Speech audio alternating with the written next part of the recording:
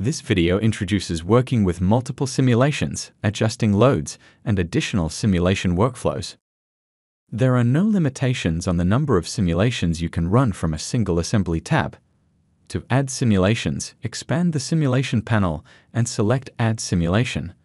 A new simulation is added in the Simulation panel table and the new simulation is available in the Simulation field drop-down list change the active simulation from the Simulation Fields drop-down list or from the Simulation panel table by right-clicking the simulation name in the column header and choosing Set Active.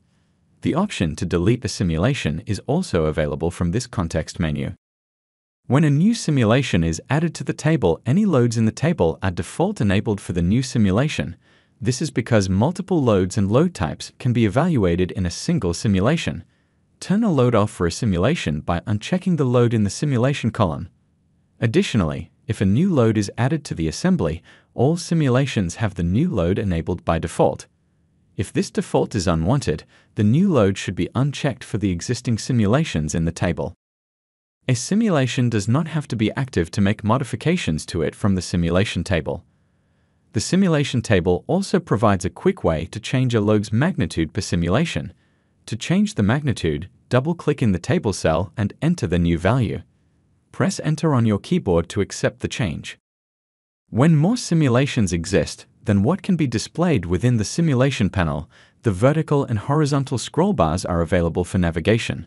To adjust the simulation settings display area, hover over the borderline between the table and the simulation settings, then click and drag when you see the double-sided arrow.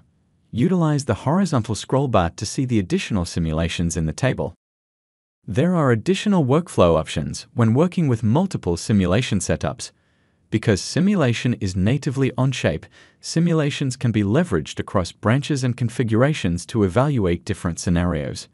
Utilize branching to evaluate the performance of design changes, testing a simulation load in each branch. Take advantage of Onshape's selective merge feature to merge design aspects from one branch into another. Utilize configurations to test different product options against one another, or use a checkbox configuration to toggle a simulation constraint in an assembly with degrees of freedom. Note that simulation loads are not configurable in the configuration panel, they are only editable in the simulation panel and in the assembly instance list.